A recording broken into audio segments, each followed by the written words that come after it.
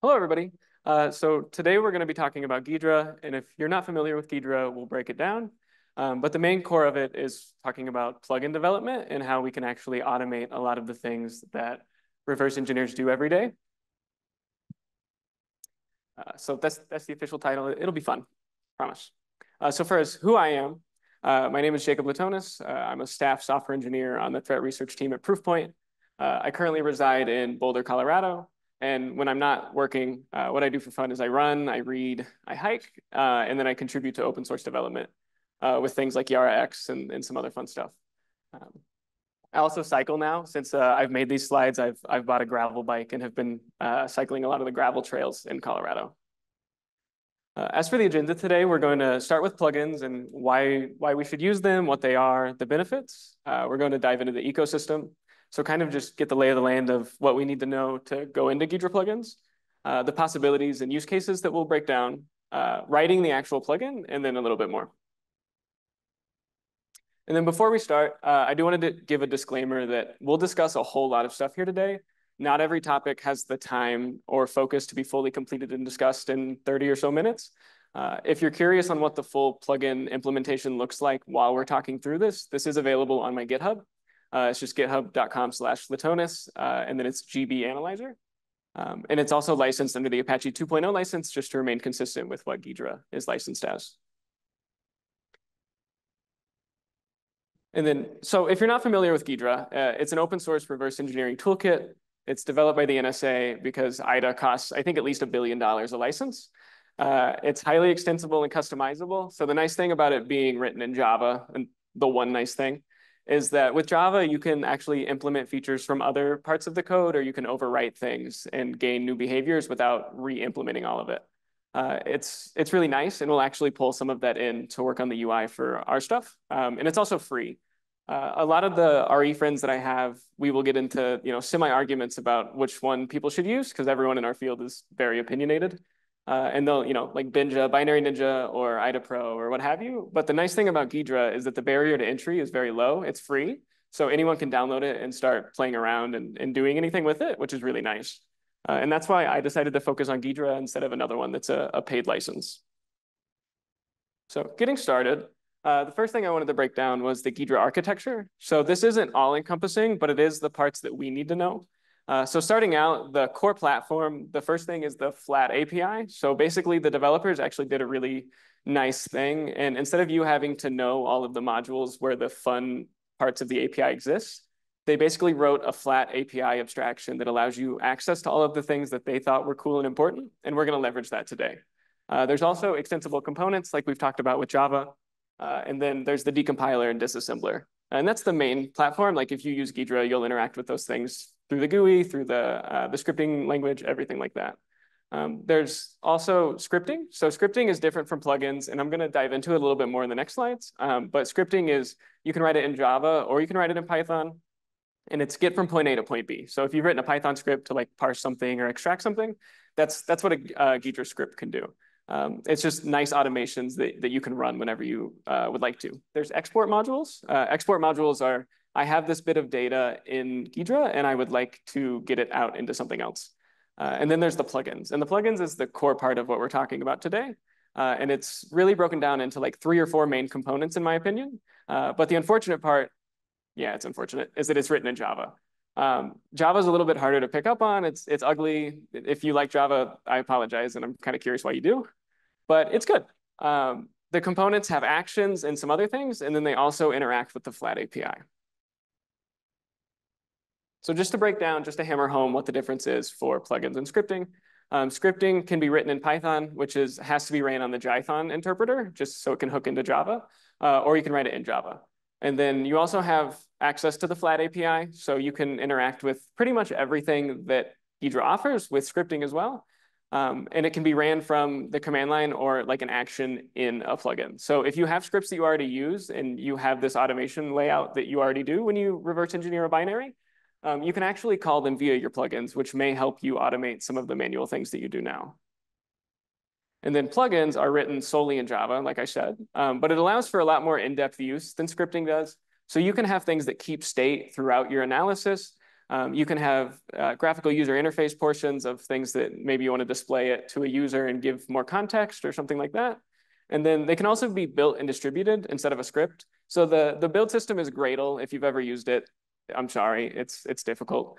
Um, but the nice thing is Ghidra provides the framework to get you up and running with it without having to know too much about how it works. Um, and the reason why being able to build and distribute it is better than the scripts, in my opinion, is because when you build and distribute, it basically archives it into a jar file, and then you just drag that into Ghidra and you get to install it and you're up and running. Um, however, with the script, you need to know where the directory that your Ghidra installation is, you need to know where to put it, and then you need to find it in the UI. It's just a little more clunky. And then the fun part, I think, today, um, everyone has opened Ghidra and put in, you know, like a binary or something of a PE or a Mach-O. Um, but Today we're going to do it with Game Boy games, and it's pretty exciting. Um, if you're not familiar with the Game Boy, it was developed by Nintendo. It was originally released in 1989. Uh, it has lots and lots of games to play, and there's actually still games being developed in the indie scene to this day. And then it's still used for leisure and competitive play worldwide. And when I say competitive play, it's like there's huge tournaments with like thousands of dollars on the line. It's actually a lot of fun. Um, we'll, we'll get into it in a little bit, but there's things like speed running, uh, there's competitive Tetris, there's a, there's a whole bunch of things that are really fun. Um, and then furthermore, there's you know small handheld video games. So there's these cartridges, and the cartridges are actually what is like we're going to pull apart today. And it's the main it's the main fun stuff that the Game Boy can do. There is some logic on the console itself, but most all of it lies within the cartridge. Uh, it has a custom 8-bit CPU similar to an 8080 Sharp CPU. Uh, it runs at 4.19 millihertz, and then it has a ultra realistic 160 by 144 pixel display. And then I would be amiss if I did not mention that a lot of the work for reverse engineering the Game Boy and getting all of this stuff, Nintendo did not release it. If you're very familiar with Nintendo, they don't like people pulling apart their things or looking into what they do. Um, so there's a lot of resources, and it might be a little difficult to read on the with the, the colors, but basically there's a there's four repos by a person that goes by the pseudonym of Gekkio on GitHub. And there's GB Research, which is really just the like the get started guide. It links to other things. Uh, there is Ghidra Boy, which is a decompiler plugin for Ghidra, which we leverage. And then there is the Pan Docs, which is just like, if you use Pan Docs before, it's like markdown formatted documentation that's really easy to read and export. Um, and then there's the CTR, which is the complete technical reference. So if you want to read a 200 to 300 page report about everything that the Game Boy has ever done, you can also do that. I didn't, I just went through for the things I needed, but if someone does read the whole thing, I'd be, be curious. Um, as for the cartridge itself, there's some information that we need to know before we start reverse engineering. So the first thing, oh, sorry. Uh, the first thing is that each cartridge has a header. So much like a PE file, a Mach-O, anything really, uh, it needs to have a header so the console knows what to do with the information and the, the actual binary. Um, so the first thing is the entry point, and then we'll, we'll go through everything. Uh, but it contains information about the game, and we want that information. So how do we build that out? How do we get it? Uh, and we're going to break down each part of the header. So the first thing is the entry point. That's just, you know, the console automatically goes here, and then we start from there. Uh, there's then the Nintendo logo. Um, and if anyone has ever like put a cartridge in a Game Boy and the logo didn't load right, and then your game didn't load right, that was Nintendo's like first version of DRM slash licensing. So essentially there's the Nintendo logo in byte form on the cartridge, and it has to match exactly what the console expects. So if you've ever put in a game and it does throw that error and then the weird sound, that's because like a pin was dirty and a bit was corrupted or something and the logo didn't load properly. Um, and then there's the title in ASCII uh, and then the manufacturer's code. And then from there, we have the color Game Boy flag. So the original Game Boy was, was monotone or monochrome. Uh, and then there's the color Game Boy. So this flag indicates that it can use that technology. Uh, there's the new licensee code, which we'll talk about the next slide with the old licensee code. It gets complicated. Uh, there's the SGB flag. So if you've used the Super Game Boy, which is the thing that allows you to play Game Boy games on the Super Nintendo. And then there's the cartridge type.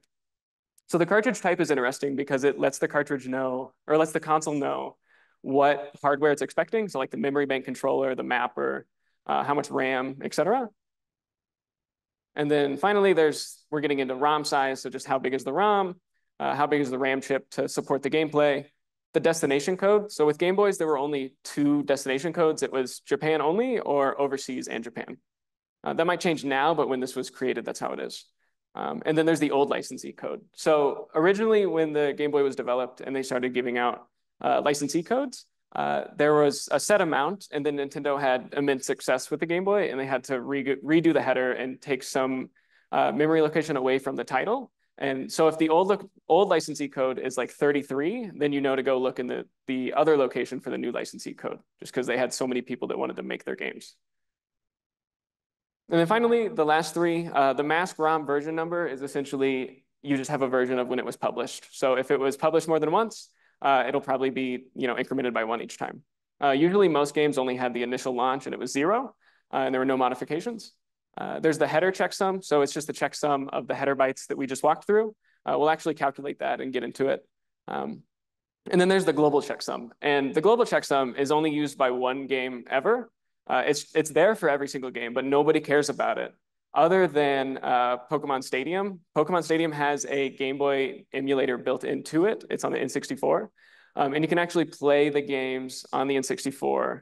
Um, but they cared about what games you loaded into memory and used for the checksum. So that is the only game in the existence that's known that uses that checksum. And it gets its all own header space. Um, so for this, this is what a header looks like if you were to look at it without any context, any parsing, anything like that. Um, and if someone can read this and actually like call it out, I please don't. But um, it's this is what it looks like without any context or you know to the human eye. And it kind of brings to the point of why do we want to parse things? Why do we want to have context to show users? Because if if I had to parse that out by hand every time and look at this, I would probably stop looking at them and stop parsing them myself. Um, so to write a parser, what do we need to do? We know that each cartridge contains a header. We know the address range. And we also know that it provides information that we want to have things to display to the user. Um, so we really just need to go byte by byte and parse it and see what to do with it. And then our next use case, other than the parser, we have IO ranges. So when you're actually pulling apart the game and you and you want to start getting into the behavior and pulling apart those behaviors, um, with the custom CPU and instruction set, we know that there will be certain instructions that read and write to certain addresses, and that's how that interacts with the hardware. So if I were looking at a game, I could memorize all of these offsets and know that it's interacting with IO or hardware. Or we can, you know, write something that automates that for us and tells us when we're looking at it instead of having to, you know, constantly look back at documentation and all of that. And we'll get into a little bit more, but that's that's our second main use case. And now the, the fun part, we're actually going to get to talk about the plugin and, and how this can be used. And the main point that I want to drive home before we go in just because this is about the Game Boy, it doesn't have to be about Game Boy games. If you have any automated or any manual workflow that you do every time, odds are with Ghidra, it can probably be automated thanks to that flat API and, and how everything's laid out. So for writing a plugin, what do we need? Uh, you need a whole lot of Java. Uh, unlike scripting, which can be written in Java or Python, uh, you need to use uh, Java.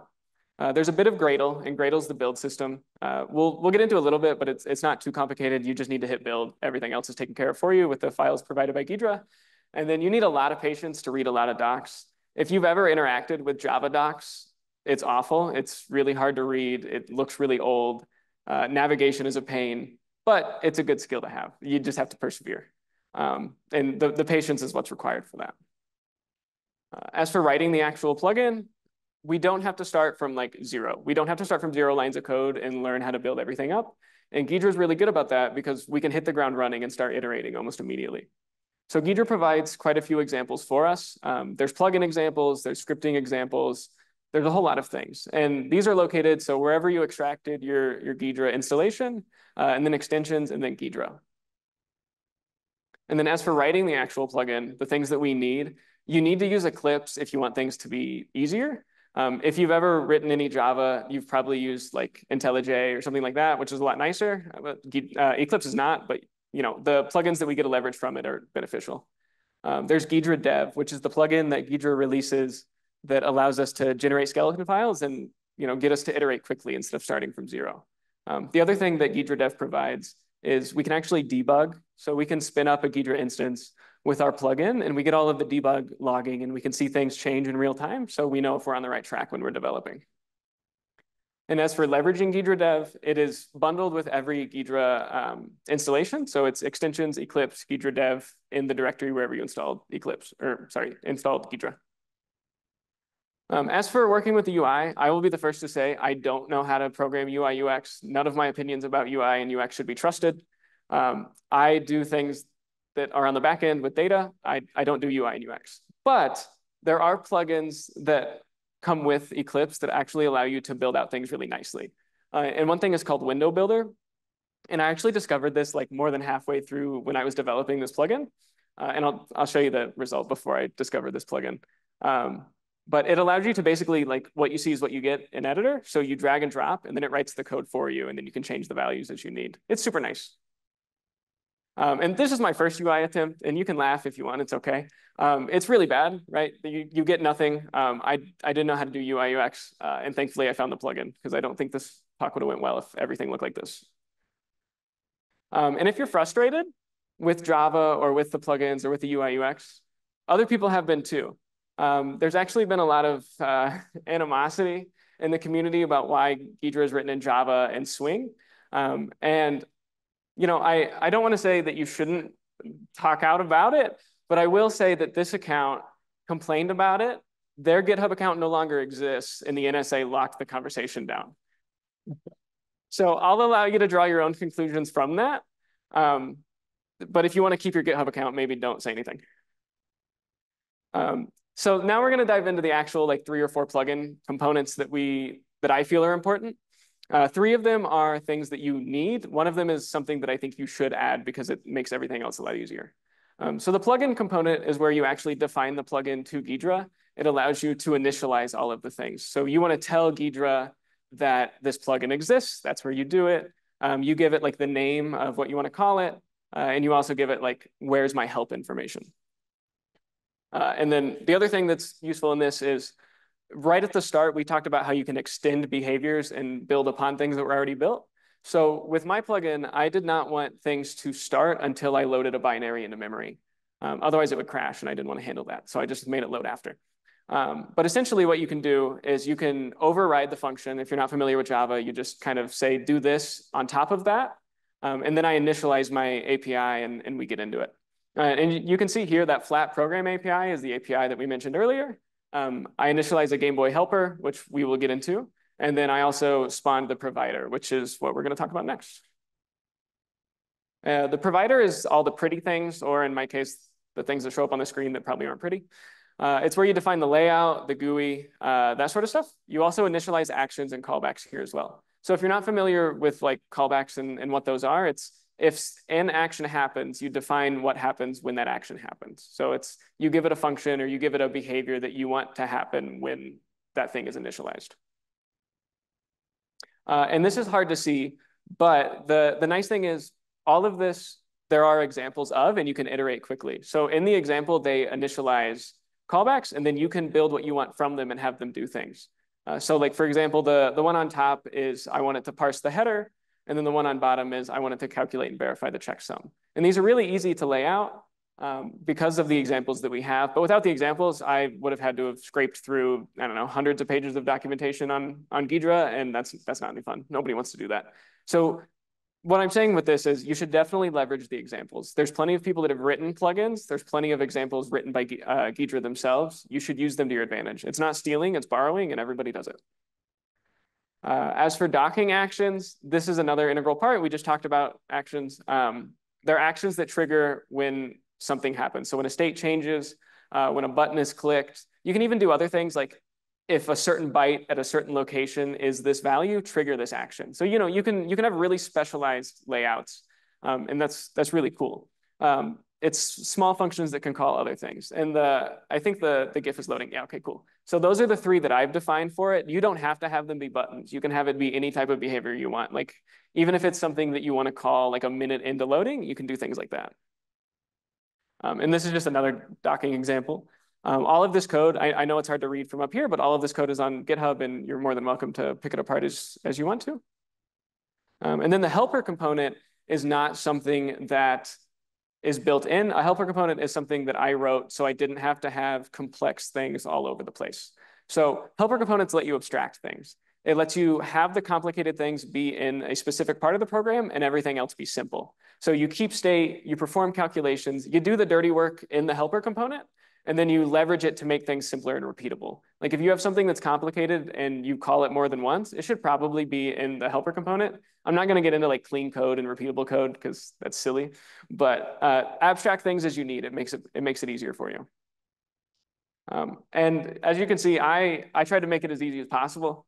So when I'm getting all of these things to parse and I need to extract the information, um, I just I set up a bunch of hash maps, uh, and I have from integer to string, from string to string. So depending on like what I have parsed, I can extract the information and have it in a human readable format.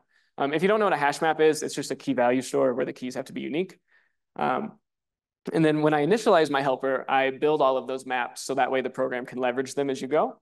Uh, I build one for the, the header. So like these bytes are in this location, the address space.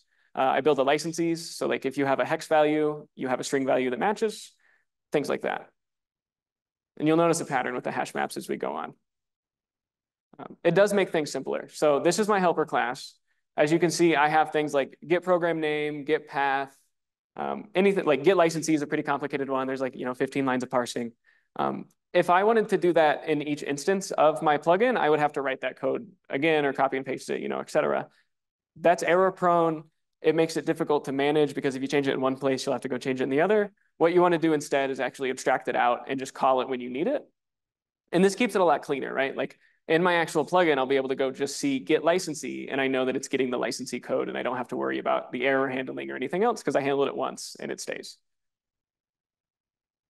And then remember that parser we needed? I, this is the same Pokemon um, ROM header that I showed with the Who's That Pokemon screen. Uh, it was Pokemon Yellow. I don't know if anybody could read it or try to translate it, um, but it's Pokemon Yellow for the Game Boy. Um, as you can see here, even if we ran strings on the binary, we would be able to you know, grok some context from it, but there's still a lot of things that we don't have context for. And that's why this parser is so helpful. Um, to parse it, again, we get to leverage that flat API. So we basically get a byte, add a certain uh, pointer to an address in memory, and all of this is provided by Ghidra. So you call the flat API, you say, I'm going to give you an integer, this is the address it's at, convert it to an address and get it. Um, and to parse all of it, it's really simple. What I had is I had a hash map of the addresses. I had uh, you know, it starts here, ends here. And then I just had a loop that iterated through all of it, grabbed those bytes and sorted it out. And this is the, you know, the beginning of it. So we can see that things are being organized. It's starting to become clearer. However, it's still a bunch of bytes and we still have context to glean from that. Uh, so converting the bytes information, how do we get all that context? Because it needs to be stored somewhere, right? Um, and if anyone is good at Java and like knows how to initialize hash maps without having to do this, please come talk to me and tell me how to do it. Um, this looks awful, um, but it works. Um, so I initialize the hash maps with the values. You can see like Nintendo, Capcom, uh, etc. And then from there, we, ha we have other information that we can, um, we can glean, like the, the hardware type and all of that fun stuff. I wasn't kidding when I said hash maps are the entire thing. It, it really is. Um, and then so now that we parse everything and we have that information, uh, we can actually calculate the, the checksum and validate it against the checksum that's provided with the ROM. Uh, so this is when I found out about the window builder. As you can see, this doesn't look terrible, I hope. Um, so it's the given checksum, which would be the one from the, the header, and then there's the calculated checksum, which I calculated. Um, and the, the algorithm to compute the checksum is, is not difficult. You start at zero, uh, and then you subtract the checksum from itself, and then minus one, and then you go through all of it, and then you get the lower 32 bits, and you compare. Uh, and luckily, I obviously loaded a ROM that was legally obtained, and uh, checked the checksum, and it was valid. Uh, and I will say, I'll go back real quick. I want to brag that uh, I did program, so if it is invalid, it goes red instead of green. I just had to point that out. Uh, so if we know the information is good, that means it matches, we can do what we want with it. Um, and this is where we can start displaying information to the user or to yourself and get that context without having to do all of that manually. So for instance, with Pokemon Red, it, the title is Pokemon Red. The license is Nintendo Research and Development One. There are two. I did not look into why there are two. I don't know if it was two different buildings, two different like managers. I don't know. Uh, Nintendo won't tell you. Uh, the destination code is overseas only. Uh, so this was not intended for the, the Japanese market. This one was uh, overseas only. Does anyone know what the Japanese market version of Pokemon was called when it was first released?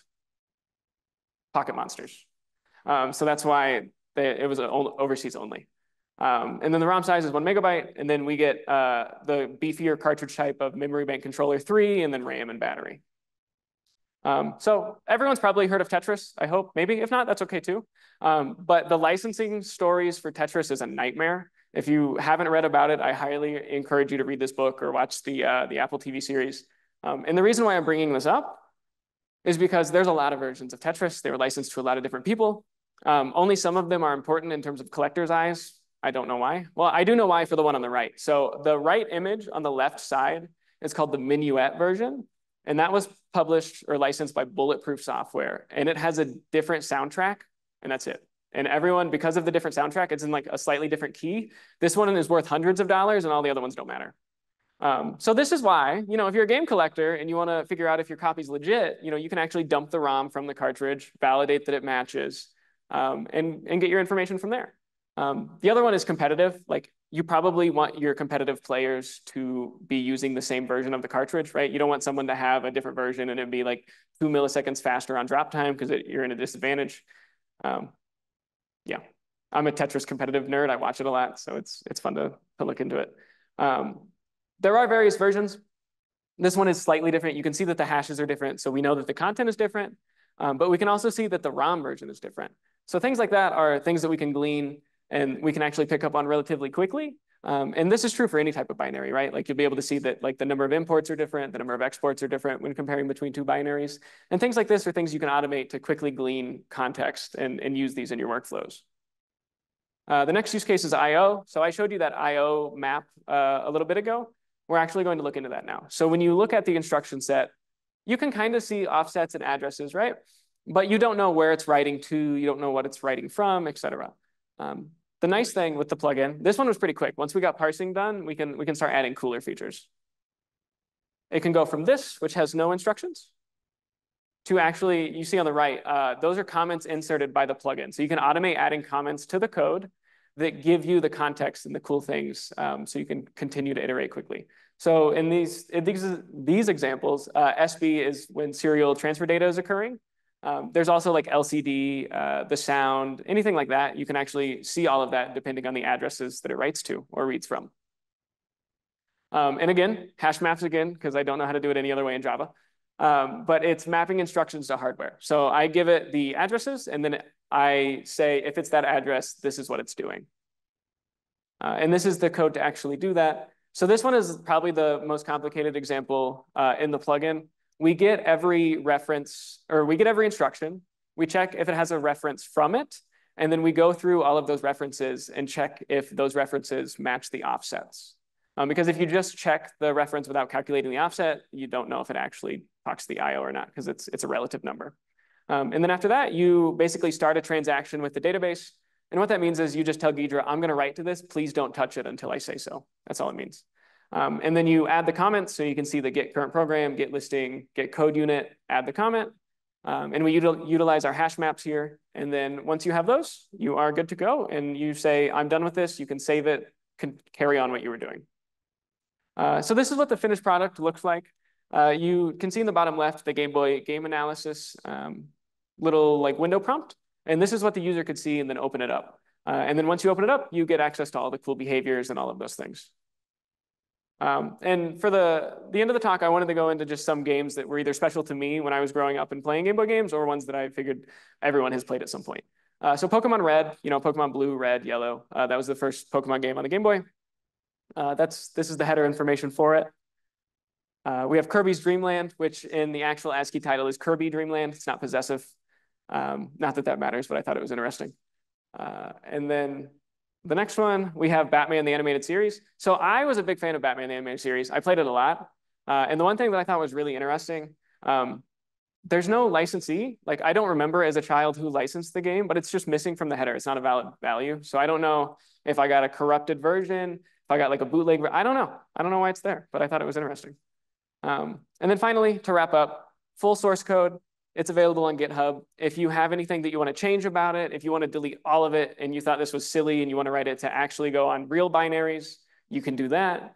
Um, it's uh, github.com slash latonis slash GB analyzer. Uh, it's all open source. You can do what you want with it. You can fork it. If you want to add a pull request and introduce new behavior, you're more than welcome to.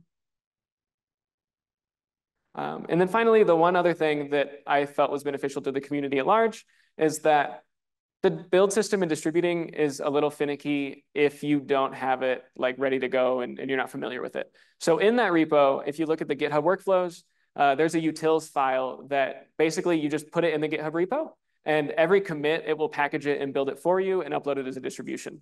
So if you, this is something that you can use for if you want to distribute something internally in your enterprise Artifactory store, you know, artifacts wherever they're stored, um, you can use this and have it upload there, and then whoever your REs are or, or what have you, they can leverage these plugins really easily. Uh, and then I know QR codes are kind of blah, but uh, it's there if you want to scan it. Otherwise, it's github.com slash Flatonis slash GB Analyzer. And I'll leave it there just in case anybody wants to scan it or take a picture. Okay. Uh, that's, that's it. Um, I'm more than happy to answer any questions if you have them.